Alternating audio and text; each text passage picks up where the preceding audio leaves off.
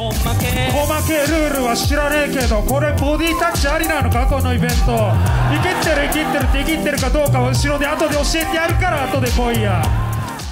凱旋2019のジェットシティピープル対平方戦で呂布さんが胸ぐらをつかむシーンがありましたがあの時の心境と後日談などあればお聞きしたいです。あれはえっ、ー、とねイムってやつでまあ全然その面識ないやつで。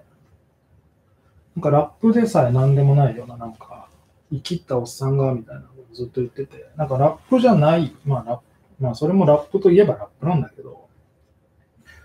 なんか生きってるなみたいな感じを言ってきてて、ひょろひょろのガキが。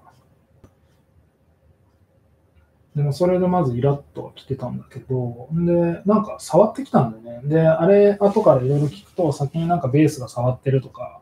いろいろ理由があったみたいだけど、まあ少なくとも俺は触ってないからさ、俺は触ってないし、その仲間が相手を触ってたかどうかなんて確認してないか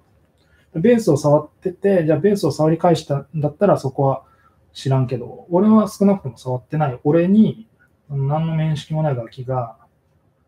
触れてきたんだよね。で、ええと思って、これは何？ボディタッチありなのかなと思って、舐められてんなと思ったんで、胸ぐらを掴んだね。っていうだけの話。で、まあその後、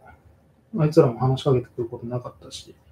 俺らも勝ったから、もう別にそれについてね、